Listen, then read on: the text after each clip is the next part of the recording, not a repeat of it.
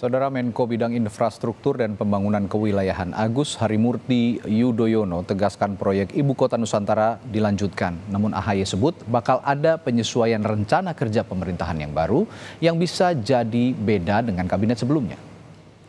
AHY menyatakan pembangunan Ibu Kota Nusantara bukan menjadi satu-satunya atensi dalam pemerintahan Prabowo Gibran.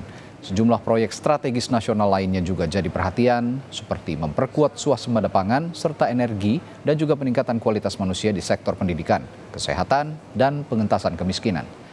Pengalokasian dana untuk melanjutkan pembangunan proyek IKN akan juga disesuaikan. Kita juga uh, mengetahui ini adalah sebuah proyek yang besar dan perlu dilakukan uh, berbagai upaya agar terus bisa berlanjut. Dan Bapak Presiden Prabowo juga tentu ingin bisa melanjutkan pembangunan IKN ini tentu dengan timeline yang harus terus disesuaikan karena kita tahu bukan hanya IKN yang perlu mendapatkan atensi tapi juga proyek-proyek uh, strategis nasional lain.